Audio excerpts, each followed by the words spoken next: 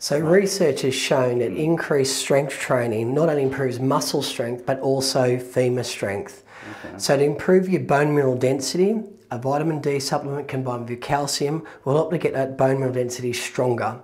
So the strength training, yes, it's good for your muscles, but good for your bones. We want to decrease the risk of you breaking your bones now. Hmm. Let's go get strong.